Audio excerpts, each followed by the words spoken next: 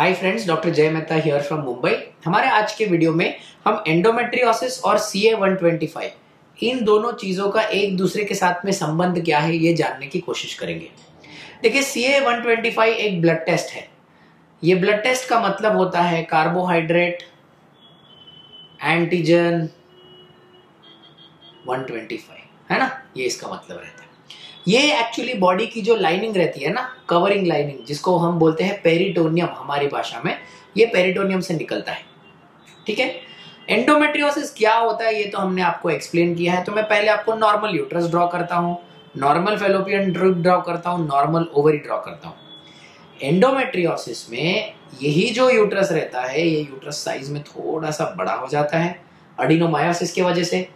Ovary uterus के पीछे जाके ऐसे चिपक जाती है, ये पूरी ओवरी यहाँ पे पीछे ऐसे चिपक गई, इसके अंदर चॉकलेट सिस्ट बना हुआ रहता है, और ये जो ट्यूब है, वो थोड़ा सा सूजा हुआ रहता है।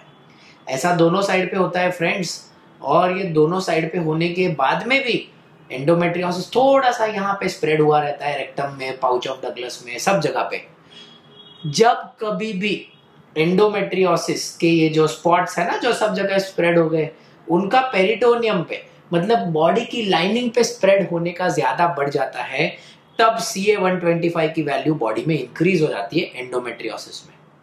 ऑफन लोग गूगल करते हैं और देखते हैं कि C A one twenty five का मतलब है कैंसर ध्यान रखिए गाइस कैंसर के अलावा एंडोमेट्रियोसिस इंफेक्शन टीबी ये तीनों चीज़ों में फीमेल्स में C A one twenty five की वैल्यू बढ़ सकती है।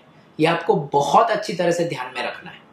दूसरी बात दोस्तों प्लीज़ विदाउट फेल आपको ये ध्यान में रखना है कि अगर मान के चलिए C A one twenty five को हम कंसिडर करते हैं तो उसका जो नॉर्मल वैल्यू रहता है, वो रहता है पैंतीस से कम less than thirty five endometriosis में आपको ये वैल्यू ज़ीरो से लेके थाउज़ेंड तक, किधर तक भी देखने को मिल सकती है।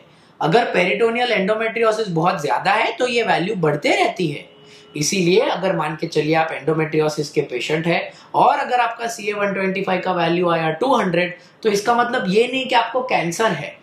आपको इस चीज़ को लेके आपके डॉक्टर के पास जाना है, आपके डॉक्टर आपको सोनोग्राफी करके अच्छी तरह से गाइडेंस देंगे, पर भगवान की कृपा के लिए आप किसी एक्सपर्ट के पास में जाना इस चीज़ को लेके। ओके एंडोमेट्रियोसिस के एक्सपर्ट डॉक्टर्स होते हैं। वो डॉक्टर जो गूगल पे एडवर्टीजमेंट देते हैं ना, जिसके नीचे वो एडी करके आता है, उसको एक्सपर्ट नहीं बोलते। वो एडवर्टीजमेंट करने वाले डॉक्टर्स हैं। आप, आपके डॉक्टर्स आपके फैमिली डॉक्टर्स आपके फ्रेंड्स रिलेटिव्स में से किसी को पूछिए कि एंडोमेट्रियोसिस के एक्सपर्ट कौन है। उनको जाके दिखाइए। सबसे बेस्ट सर्जरी एंडोमेट्रियोसिस की अगर सर्जरी का ज़रूरत है तो एक्सपर्ट्स के हाथ में ही होती है, जिससे आपका रिकरेंस रेट कम हो सके।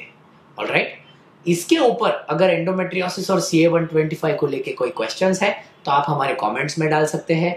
मैं या मेरे कोई टीम मेंबर्स आपको आंसर देंगे। Thank you so much friends we are available for consulting in Bombay Indore Ahmedabad and Bangalore Bombay is our primary location all appointment numbers are mentioned in the description. If anyone is genuinely interested, they may contact the hospitals for the same.